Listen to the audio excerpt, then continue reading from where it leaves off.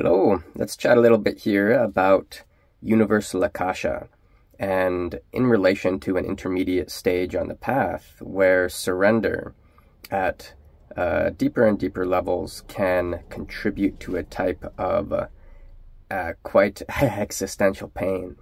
And this arises from two things.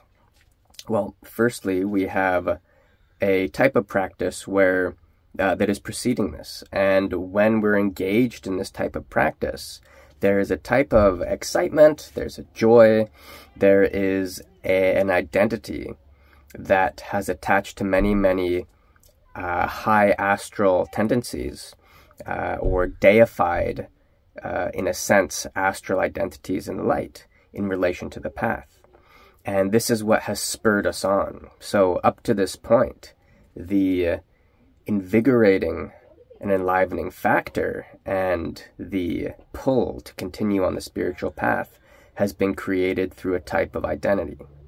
Now, as we continue with this process of surrendering, unifying with more and more refined uh, energies and, and light and more and more refined substance on the path, what happens is the very identity which has spurred us on, which has initiated our interest in and pursuit along the spiritual path, this part of us dissolves, it disappears. And the result of this is a type of purposelessness, a type of nihilistic, what's even the point of it all. Now, navigating this can be very tricky because typically previous to this particular release, we've been able to find uh, solace and inspiration in a, a, mm, a disciplined returning to the practice, right? You do your practice, you get back into it, it uh, invigorates you, and boom, you're off to the races again. However, at this stage, it can be very, very difficult to return to the practice. Suddenly, the identity of that particular density of discipline is no longer present. That part of you has been surrendered, which means that the type of exploration changes drastically, right? We now have to engage from a far deeper place of non identity. The type of joy, the type of excitement. This all has to evolve. It's constantly in need of evolution. Now, in the absence of finding this more refined type of inspiration, this more refined nature of inspiration, then we're left in this quagmire of essentially just it's just a pit of non-inspiration, non-excitement. There's no connection to the spiritual path anymore. Now that connection still exists.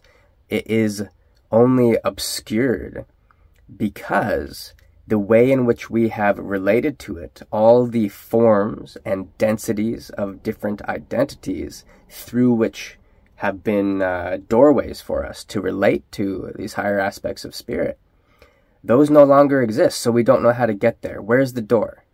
And there is a door.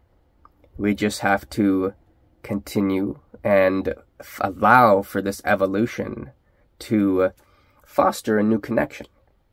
So, how is this related to Universal Akasha? Well, anyone who has spent time opening the doors to Universal Akasha will very often find uh, on the other side of uh, those deep practice days a type of purposelessness, a fatigue that goes far beyond the body. And this fatigue, this is due to the dissolution of path, the dissolution of the forms of purpose itself.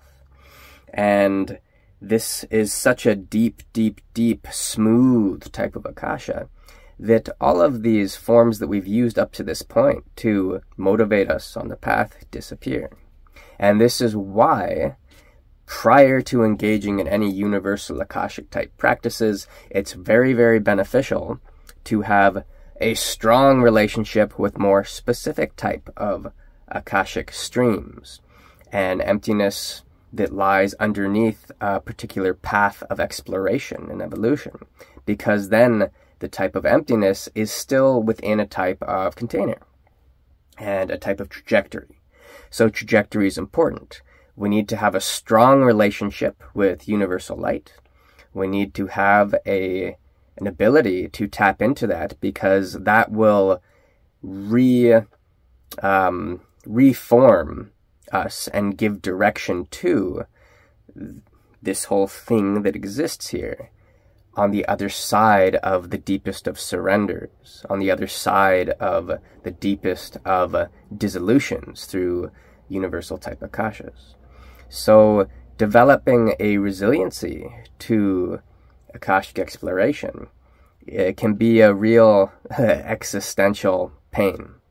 And we want to work through this in a safe way that doesn't leave us uh, in a total absence of of purpose and just um, you know kind of it reminds me of a dog in a in a little whirlpool like a, a little hot tub just and it's just going in circles and we don't want to get stuck in that element of the the quagmire that can uh, overcome us there. So things to be interested in things to be aware of and when you are finding yourself in these places of of non-purpose where you have dissolved the very will that has taken you to this point that identity can no longer take us further which means that this idea of oh i will be as i was and that's the path forward. No.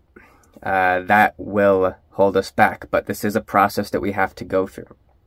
And it's very difficult to practice through these types of uh, stages, to practice through them, uh, because the part of us that's practicing through, uh, that can no longer be a part of the process because it doesn't exist anymore. So uh, rest and allow for a new relationship and a new doorway to start to open. And from here, greater and greater perspective can start to arise as this light starts to shine through a different type of door. All right, hope you found this helpful. And if you have any questions, you can drop them in the comments.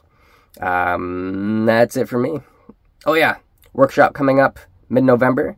If you're interested in training and in uh, really tapping into the universal light and all the preceding stages that help us access that with more and more clarity and integrity, please uh, check out the link on the website.